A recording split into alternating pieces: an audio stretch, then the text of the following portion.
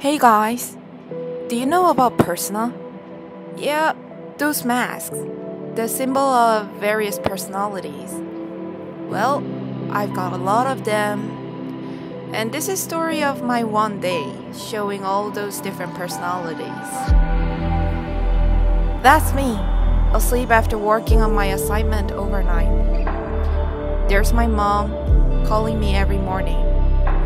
You know, I'm really grateful that she cares and loves me, but whenever she calls, I become impatient and easily get mad at her.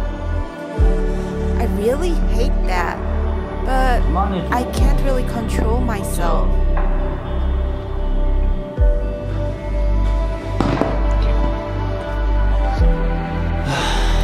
I get depressed after the call. That's my friend. She helps me get relaxed. I can smile a little then. Yep, she always cheers me up. She knows all the situations, so I can talk to her freely about this complication, we'll call it. After talking to her, I get somewhat cheerful, I guess. Another personality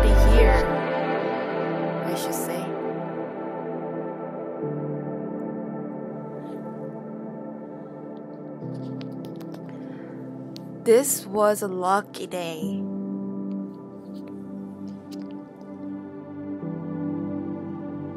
That's my girlfriend. She just finished her class. I'm usually kind and gentle to her since she's adorable. Well, my friend reads the mood, and thankfully, she gave us some time for ourselves. Always smiling and kind she is, I become kind to her as well. Oh, there comes our professor.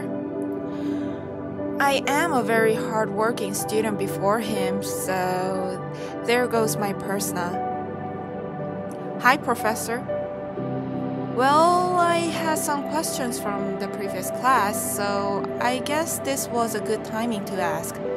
And being the diligent student I am, he told me very kindly.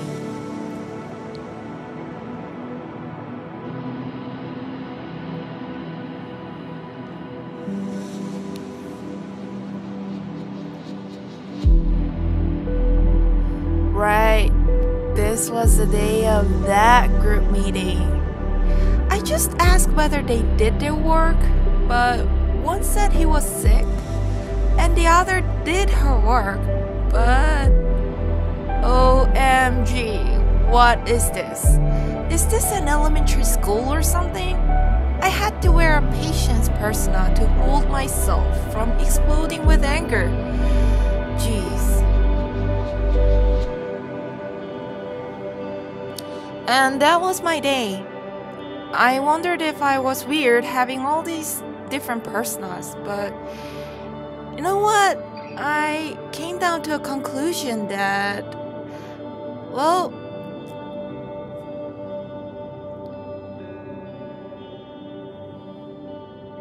I'm just me.